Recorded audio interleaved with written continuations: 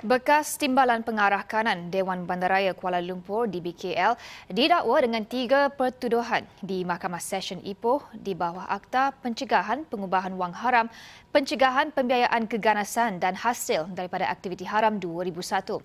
Ia melibatkan nilai RM276,400. Ini adalah kali ketiga Sabudin Muhammad Saleh, 58 tahun didakwa. Dia bagaimanapun mengaku tidak bersalah selepas pertuduhan dibacakan terhadapnya di hadapan Hakim S. Indra Nehru. Dia didakwa menggunakan wang hasil aktiviti haram bagi membeli lembu.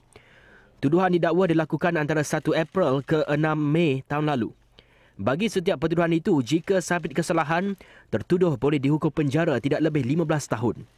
Dia juga boleh didenda tidak kurang lima kali ganda jumlah atau nilai hasil daripada aktiviti haram atau peralatan kesalahan itu pada masa kesalahan berkenaan dilakukan atau lima juta ringgit yang mana lebih tinggi. Mahkamah kemudian yang membenarkan ikat jamin RM16,000 dengan seorang penjamin dan menetapkan 28 Februari untuk tarikh menguruskan kes.